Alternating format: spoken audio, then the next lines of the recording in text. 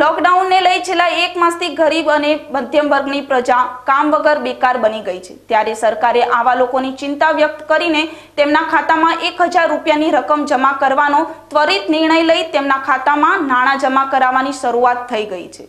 ત્યારે જે ગરીબ પરિવારો ખાતામાં એક હજાર રૂપિયાની રકમ જમા કરાવવામાં આવી છે તેવા લોકો આજે થરાદમાં બેંકમાંથી નાણાં ઉપાડવા માટે બેંક ઓફ બરોડા સામે કતારોમાં લાગી ગયા હતા. આ ઘટનાને પગલે સોશિયલ ડિસ્ટન્સનો પણ અભાવ જોવા મળ્યો હતો.